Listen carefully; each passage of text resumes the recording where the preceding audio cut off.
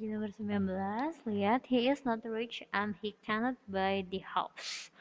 Oke, ini nggak ada pola if, berarti ini adalah faktanya. Oke, ini adalah fact dari conditional sentence keberapa nih? Oke, ini adalah fact ya. Faktanya ini bentuknya present.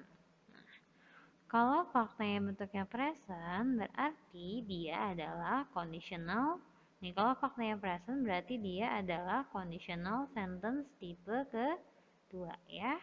Yaitu tipe kedua masih ingat ya, uh, unreal present satu hal, something that doesn't happen in the present.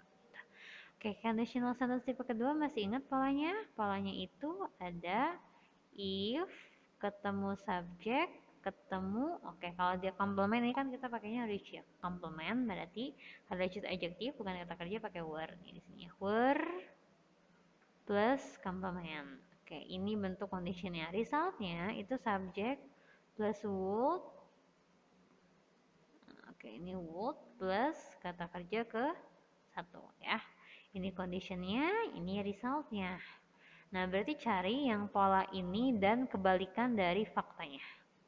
Kan faktanya dia nggak kaya dan dia nggak bisa beli rumah. Kita mengandaikan, coba jadi dia kaya gitu, dia pasti bisa beli rumah.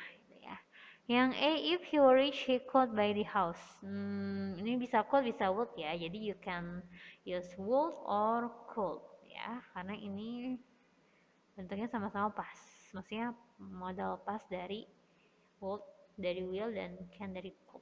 Ya, jadi jawabannya yang mana nih?